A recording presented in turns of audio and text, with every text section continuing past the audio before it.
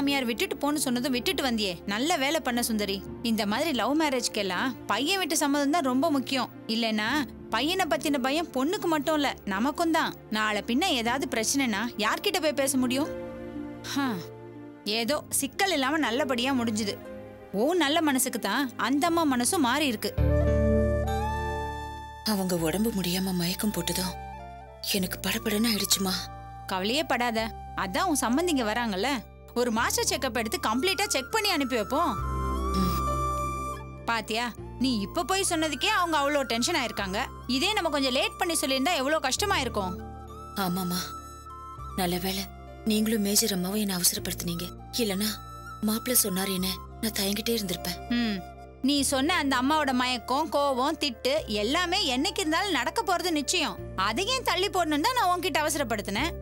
அம்மா அவங்க நம்ம மாப்பிள்ளைக்கு ரொம்ப பெரிய இடத்துலலாம் சம்மந்தம் பேசியிருப்பாங்க போல.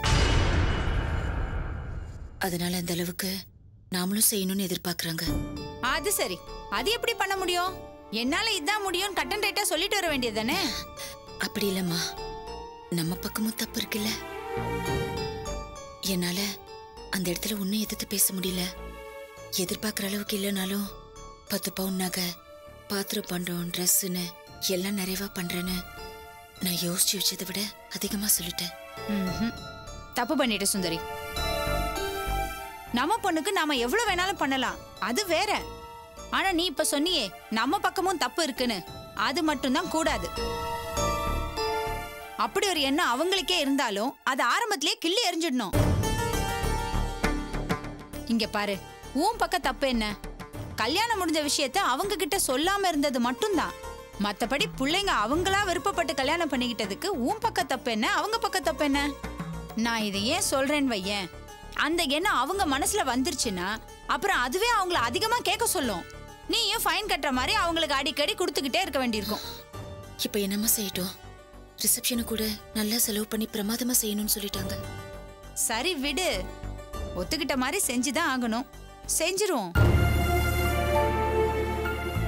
ஆனா இனிமே நீ கொஞ்சம் அவங்க கிட்ட ஜாக்கிரதையா இருக்கணும். உன் சம்மந்தி பெருந்தன்மையா ஒத்துக்கிட்டா கூட இந்த மாதிரி கண்டிஷன்லாம் கொஞ்சம் உறுத்தலா தான் இருக்கு. அதுக்கு தான் சொல்றேன். ஏன் சொல்றேன்னா உனக்கு மதி மட்டும் இல்லையே. இன்னும் ரெண்டு பேரை கரை சேர்க்க வேண்டியிருக்குல்ல? ஆமா அவங்க அம்மா போட்ட கண்டிஷனுக்கெல்லாம் சோமு ஒண்ணுமே சொல்லலையா? அதான் அந்த தம்பி போகும்போது எல்லாத்தையும் சொல்லிட்டாரேம்மா. எங்க அம்மா முன்னாடி இப்போதைக்கு எதுவுமே பேச முடியாதுன்னு. ஆனா ஊருக்கு போறதுக்கு முன்னாடி ரிசப்ஷன் எல்லாம் ஒண்ணும் வேணாத்த அப்படியே நீங்க பிரியப்பட்டா நானே அதெல்லாம் பாத்துக்கிறேன்னு சொன்னாரே. ம். அப்படி சொல்லி இருந்தா சந்தோஷம்தான். ஆ சொல்லுங்க. அப்படியா? Okay okay. நான் சொல்லிக்கிறேன். சார் தான் ஃபோனில் பேசினாரு. சோமுக்கு வேலை சொல்லி வச்சிருந்தார்ல ஒரு காலேஜ்ல வேலை கிடைச்சிருக்கான். சுந்தரி எந்த காலேஜ் தெரியுமா? சூர்யா படிக்கிறாளே அதே காலேஜ் தான். ரொம்ப சந்தோஷமா இருக்குமா? எங்களுக்காக சாரும் நீங்களும் பண்ற உதவிய என் ஆயுசு முழுக்க மறக்க மாட்டேமா ஏய் எதுக்கு இப்போ நீ எமோஷன் ஆகுற? கொஞ்ச நாள் போகட்டும் பெர்மனன்ட் பண்ணிடலான்னு சொல்ல சொன்னாரு. அந்த கரஸ்பாண்டும் அவரு ரொம்ப க்ளோஸ் மதிய கட்டி கொடுத்ததுக்கு அப்புறமும் பிரிய வேண்டாம் பக்கத்திலே வச்சுக்கலாம். எப்ப வேணாலும் போக வர உனக்கும் ஈஸியா இருக்கும். இங்க பார். நான் நம்ம சௌரியத்தை பத்தி பேசிட்டு இருக்கேன். சோமு அம்மா இதுக்கு ஒத்துக்கணும்ல? அவங்க மகனோட இருக்கணும்னு அவங்களும் நினைப்பாங்கல்ல? அதுக்கு என்னம்மா? அவங்க மகன் வீடு. தாராளமா வந்து கூட இருக்கட்டுமே. அவங்களுக்கு இல்லாத உரிமையா? பாத்தியா மகளுக்கு சிரமம் இருக்குன்னு யோசிக்காம சட்டுன்னு சொன்ன பத்தியா அவங்க மகன் வீடுன்னு. இந்த மனசுதான் சுந்தரி உன்னை இன்னும் தாங்கி பிடிச்சிட்டு இருக்கு இந்த மாதிரி சொல்ற அம்மாக்கள்லாம் இப்ப ரொம்ப கம்மி. உனக்காகவாது மதி ரொம்ப நல்லபடியா இருப்பா. நீ கவலைப்படாத. சரிம்மா. பேஷண்ட்ஸுங்க எல்லாம் கீழே வர ஆரம்பிச்சிருப்பாங்க. நான் போய் பாக்குறேம்மா. சரி. என்ன பாஸ் இது? முதல்ல ஒருத்தருக்கு ஃபோன் பண்ணணும்னு சொன்னீங்க. இப்போ ஒரு ஃபோன் காலுக்காக தான் வெயிட் பண்ணுறேன்னு சொல்கிறீங்க அப்புறம் அங்கேருந்து கிளம்பி இங்கே வந்திருக்கோம். எங்க போறோம் எங்க வரோம் என்ன பண்றோம் ஒண்ணுமே புரியல பாஸ் எனக்கு ஒரே குழப்பமா இருக்கு. இங்க பாரு நட்ராஜ் நீ ஒன்ன மட்டும் நல்லா புரிஞ்சுக்கோ. நாங்க இந்த ஹெல்ப் உனக்கு ஃப்ரெண்ட்லியா தான் பண்றோம். வட்டிக்குள்ள வாங்கி தர போறதே இல்ல. அதுக்கு எங்ககிட்ட ஆள் இருக்காங்க. நாங்க ரெண்டு மூணு பேர்கிட்ட சொல்லியிருக்கோம். அவங்க ஃபோன் பண்ற வரைக்கும் நம்ம இங்க வெயிட் பண்ணி தான் ஆகணும். ஆனா எப்ப பணம் கிடைக்கும்னு இங்க பாரு நட்டு உன் கேள்விக்கெல்லாம் பதில் வேணுமா இல்ல பணம் வேணுமா? பணம் தான் பாஸ் அப்ப நாங்க சொல்றதை மட்டும் செய். அனாவசியமா கேள்வி எல்லாம் கேட்காத. இப்பவும் சொல்றோம். நீ கேட்ட பணம் கண்டிப்பா உனக்கு கிடைக்கும். இதுக்கு மேல எங்க மேல உனக்கு நம்பிக்கை இல்லைனா நீ போலாம். என்ன பாஸ் நீங்க? நான் உங்களை தானே நம்பியிருக்கேன். திடீர்னு இப்படி பேசினா எப்படி? பின்ன நீ பேசுறதெல்லாம் அப்படிதானே இருக்கு? நாங்க என்னமோ உன்னை வேணும்னு அலைய விட்ட மாதிரி பேசுற? ஏய் விடுறா அவன் அவசரம் அவனுக்கு. அவன் மேல இதுக்கு டென்ஷன் ஆகுற? நட்டு. நம்ம பிராண்ட் தம்பி இங்க கிடைக்காது. அந்த மொன கடையில் போய் வாங்கிட்டு வா. இந்தா. போ. போடா.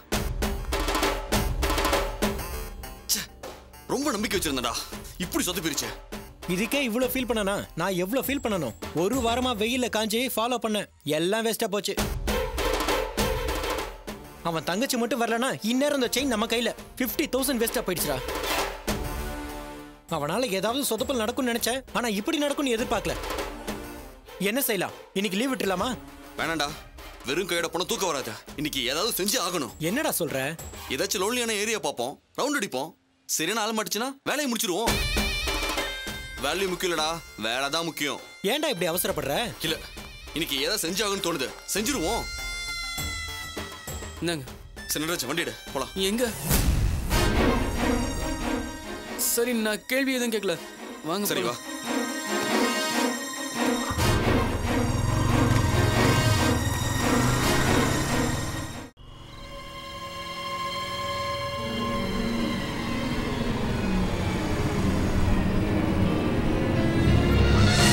சரி மச்சி. நான் அங்க வெயிட் பண்றேன். நீங்க ரெண்டு பேரும் இங்கேயே வெயிட் பண்ணுங்க. சரியா? சரி நீ போ. டேய் போடா.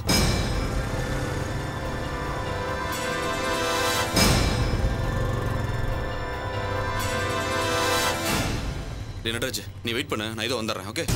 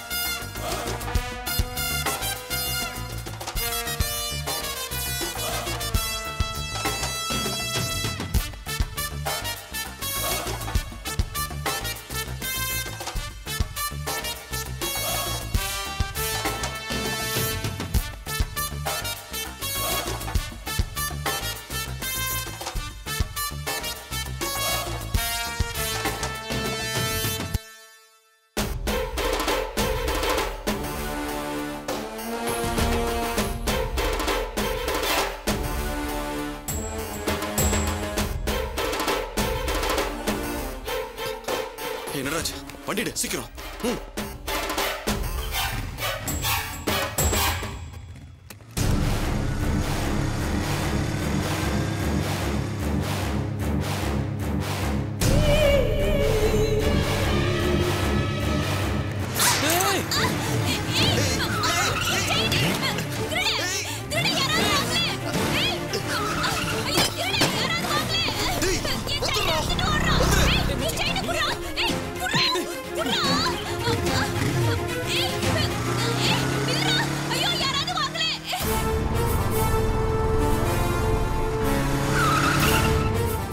என்ன பாஸ் இது? இதான் நீங்க பணம் வாங்கி தர லட்சணமா? மாட்டி இருந்தா என்ன வருது? இப்படின்னு தெரிஞ்சிருந்தா உங்க திசை பக்கமே வந்திருக்க மாட்டேன். ஏய் இப்படி நின்னு பேசிட்டு இருந்தா இன்னைக்கு நைட் உனக்கு ஆடம் தான். இந்தா புடி போ. ஏய் போடா.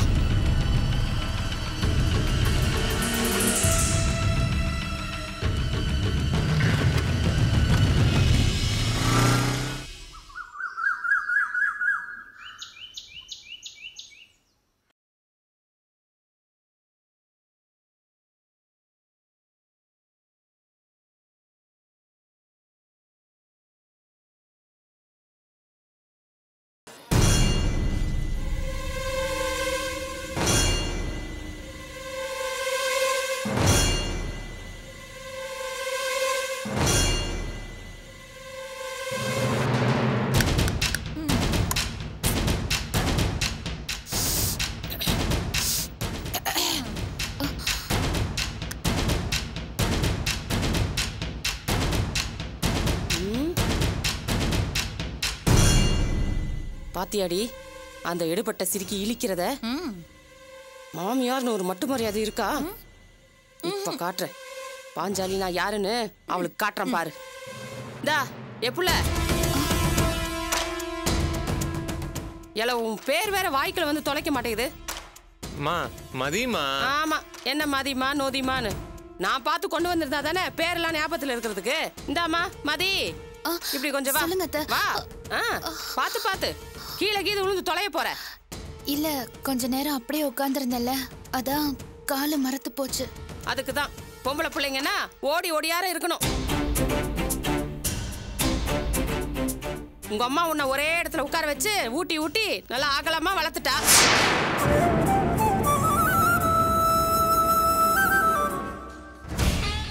மதி அம்மா எப்பவுமே இப்படித்தான். நீ குண்டா இருக்கேங்கிறத எப்படி கிண்டல் பண்ணாங்க பாத்தியா? அவங்களுக்கு ஹியூமர் சென்ஸ் கொஞ்சம் ஜாஸ்தி. என்னடி சொல்றான் அவன் உனக்கு நகைச்சுவை உணர்வு ரொம்ப அதிகமா. ஆமாண்டா.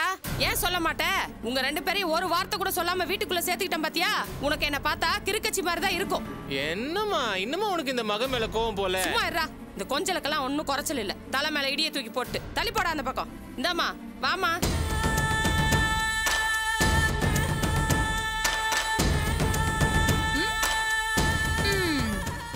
அம்மாவோட தாண்டவம் ஆரம்பமாயிடுச்சு. எதையாவது பண்ணி அவளை விரட்டி விட்டா சரிப்பா. முடியும்னு நினைக்கிறேன். அம்மா இருக்க பயமேன். இந்தா என்ன புள்ள நீ? நானும் பார்த்துக்கிட்டு இருக்கேன். உங்க அம்மாக்காரி அப்படி போன உடனே அவன் காலை கட்டிட்டு உட்கார்ந்துட்டு நகரவே மாட்டேங்கிற. வீட்ல ஒரு வயசு புள்ள இருக்காளேன்னு அறிவு வேண்டாம் அவன் கூடயே அப்படியே ஒட்டிக்கிட்டே இருந்தா நல்லாவா இருக்கும்? ச்சே என்ன வளர்ப்போ? மாமியார்னு ஒரு மட்டு மரியாதை இல்ல? நீ பாட்டுக்கு உட்கார்ந்துட்டு இருக்க?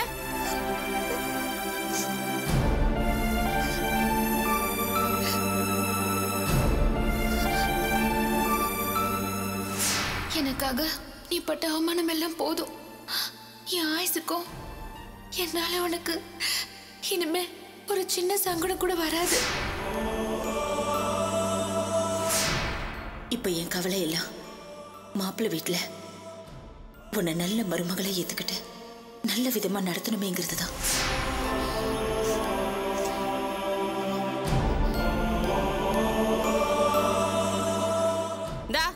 நீ என்ன எல்லாத்துக்கும் கல்லூலி மங்கினி மாதிரி வாய் திறக்காம நின்னுட்டு இருக்க இனிமே பார்த்து சரியா நடந்துக்கிறேன் அத்தை.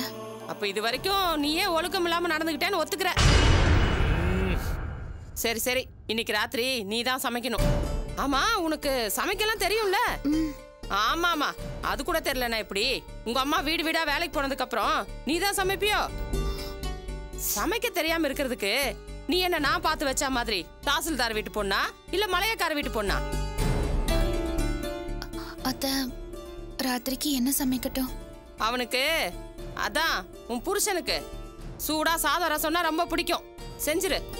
அத்தை ராத்திரிக்கு அவரு சப்பாத்தியும் ஆப்பிளும் தான் சாப்பிடுவாரு. ஓஹோ. என்னை விட அவனை பத்தி உனக்கு தான் தெரியுங்கிற. அதுவும் பெத்தவகிட்டயே. அந்த கருமெல்லாம் எனக்கும் தெரியும். இங்க வந்தா அவன் அப்படிதான் சாப்பிடுவான். சும்மா குறுக்க பேசாம சொன்னதை மட்டும் செய் போ. யாரா இவ? ஏய் என்ன நீ பாட்டுக்கு சமையல் கட்டுக்குள்ள போற?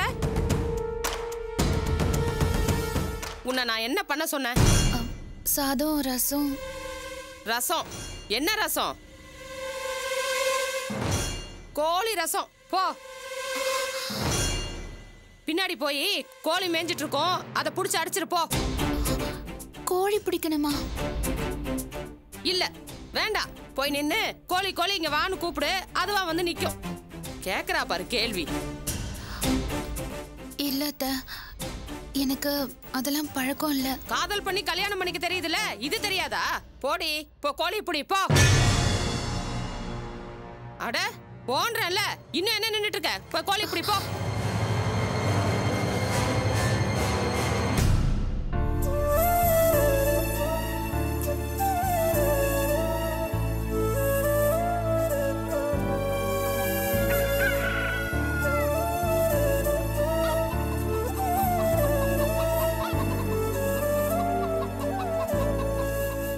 ஏய் இங்க நின்னுட்டு என்னடி வேடிக்கை பார்த்துட்டு இருக்க இல்ல இதுல எதை பிடிக்கணும்? ம் எந்த கோழியை பார்க்கும்போது என் ஞாபகம் வருதோ அந்த கோழியை பிடிச்சு கழுத்த நெறி புத்தி சொன்னா உங்களுக்கெல்லாம் தான் சொன்னவங்க மேல கொலை வெறி வருமே.